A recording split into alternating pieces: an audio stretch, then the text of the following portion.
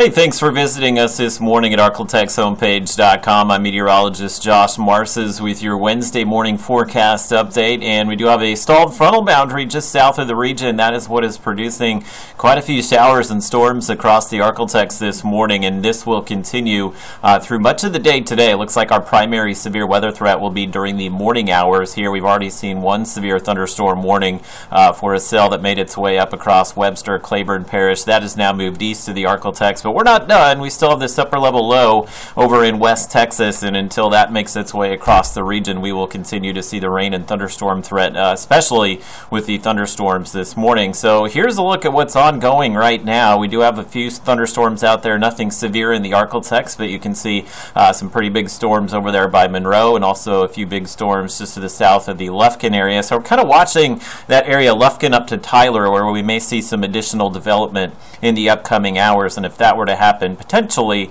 uh, that is where we could see some strong to severe storms develop. So it looks like wind and hail will be the primary severe weather threats for us. There's a tornado threat a little bit further to the south of the Arklatex, but uh, for us, it looks like hail initially, and maybe a few wind gusts will be possible with those storms. You have that marginal risk across much of East Texas and Louisiana. If you're I-30 corridor, Northeast Texas, Oklahoma, and Arkansas, it does not look like you'll see anything as far as severe storms today. So there's a look at your Robinson at Futurecast. It does show that spot that we were talking about, Tyler down to Lufkin, kind of filling in with some of the storms here in the upcoming hours. So uh, those are the ones we'll be watching closely for that severe weather threat. Once we get later into the morning, again, we kind of lose some of the warmer air that we have in place south of I-20. Will be a pretty cool day. Temperatures will be in the upper 50s or low 60s for much of the day, so that may help to limit our severe weather potential somewhat, especially as we go through the afternoon. You can see uh, there will still be a few pop-up showers and storms, but it looks like the biggest burst of rain or the heaviest burst of rain for us uh, likely playing out during the morning, but there will be some showers as we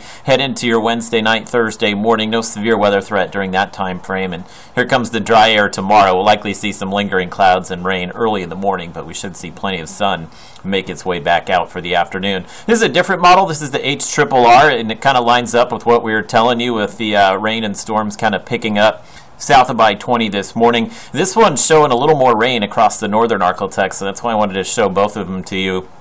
It is showing some heavy rain through at least the noon hour today, and it also shows the tapering of the rain once we hit the afternoon and evening as well. So uh, again, most of the forecast models showing that initial burst of rain through the morning and tapering off through the afternoon. As far as your rainfall totals, looks like we could still see some one to two inch amounts along and south of Interstate 20. So uh, again, there could be some roadway issues just as far as ponding of water in some of those poor drainage areas, especially as we go through the morning.